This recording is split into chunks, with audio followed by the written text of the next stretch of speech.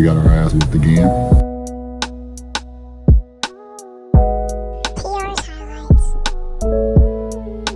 I mean, we just suck right now.